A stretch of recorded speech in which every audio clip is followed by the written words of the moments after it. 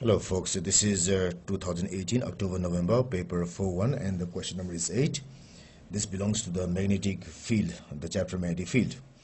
So in uh, number 8 ask us uh, what is explain what is mean by a magnetic field. So though I don't deal with the definition part, um, you should do it yourself. So but, but still uh, let me uh, remind you one thing. It is an area where a, a magnetic substance or a magnet or a moving charge particle or a conductor carrying current uh, experiences magnetic field. And because of that uh, they might experience some force as well.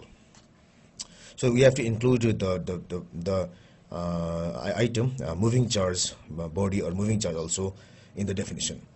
Not only just magnet or magnetic field magnetic substance. So in number b uh, we have we have a question like this a particle has mass m, uh, charge plus q and speed v. So it's shown here. The particle enters a uniform magnetic field of flux density b such that on entry it is moving normal to the magnetic field. So here we have a shaded area here. We have actually a shaded area here which is not seen on the print. So when I printed it, it is not to be seen. So the shaded area is somewhat like this, a circular area. If you go through the original version of the question, you can see it you can see it. So I'm drawing it like this. So this is the actual area. So it enters the uh, magnetic field and the magnetic field is uh, uh, uh, so the direction of the movement is normal to the magnetic field. So that means the magnetic field should be like this like this or like this like this or like this uh, like this and uh, uh, this thing is normal to that.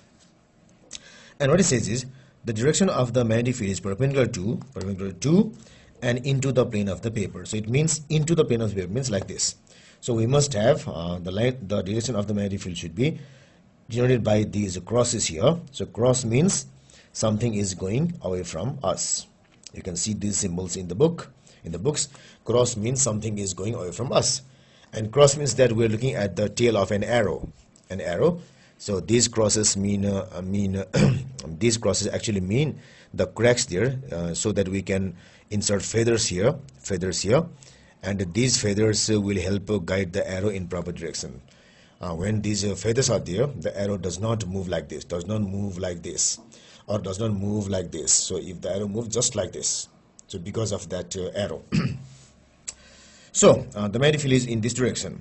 So what you have to do is, on figure 8.1, draw the path of the particle through and beyond the region of the magnetic field. So we have to draw the direction of the particle. So that requires uh, the knowledge of Fleming's left hand rule.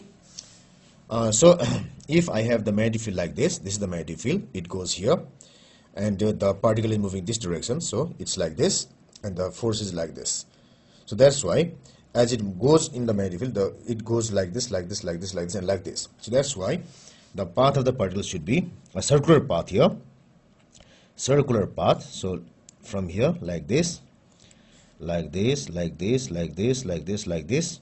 And once it is out of that thing it just goes straight. So many people have a tendency to have some kinks over here some kinks over here. There should be no kinks here and here. So here it is tangent and here also it is tangent. The path should be circular. So the next question is there's a force acting on the particle. Of course there's a force here. This is the force. This is the Lorentz force actually causing it to accelerate explain why the speed of the particle on leaving the magnetic field is v so what it tries to say is, though there is acceleration, why is there no change in the velocity? Why is there no change in the magnitude of the velocity? It's because the force is, the direction of the force is perpendicular to the direction of the velocity.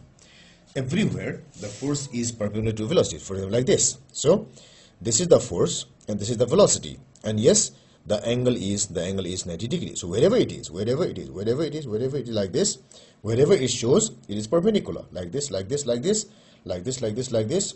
Wherever it is it is perpendicular. So that's why the speed cannot increase or decrease. So and this force is the centripetal force. And uh, definitely you should know from the chapter circular motion that uh, uh, centripetal force does not produce any change in the magnitude of the velocity or the speed it changes the direction but it doesn't change the magnitude. Now in the next question in the next question next question next question let me go to the next one. The particle loses an electron. The particle loses an electron so that uh, the charge becomes uh, plus 2q so initially it was q. So let me fold the paper so that I can uh, get hold of the initial quantities here.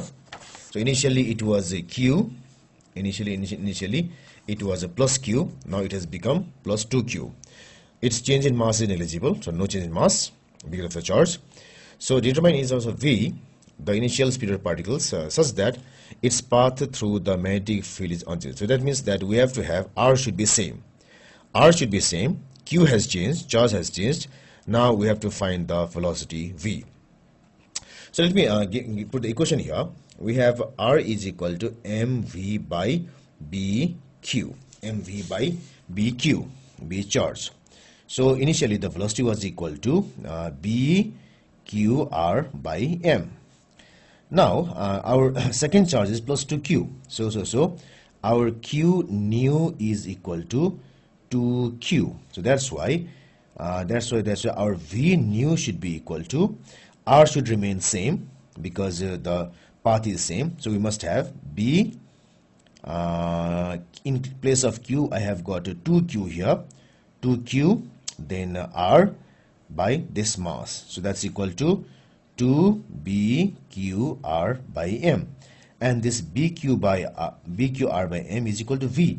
So that's equal to 2v so this means that uh, the initial speed of the particle should be 2v should be 2v if it has to maintain the same path so speed equal to 2 into v.